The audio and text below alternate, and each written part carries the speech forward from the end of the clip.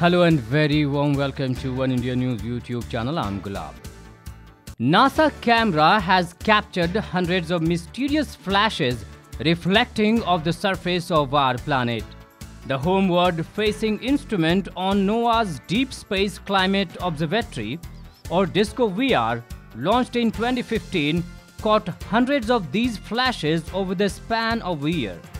NASA's Earth Polychromatic Imaging Camera instrument aboard DISCO VR is taking almost hourly images of the sunlit planet from its spot between Earth and the Sun.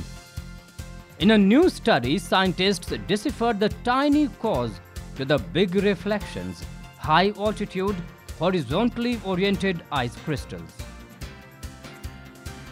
The bizarre phenomenon can be traced all the way back to the 1990s when astronomer Carl Sagan made note of similar strange glints in images from the Galileo spacecraft.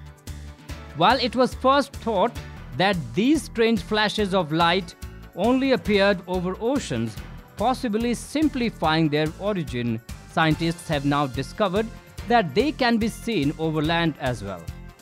In a new investigation, researchers found that these bursts likely have a surprisingly small source, tiny horizontal ice crystals floating high in the sky. Thank you for watching this video. That's all for now. For more similar stories and videos, don't forget to subscribe to Oneindia News YouTube channel.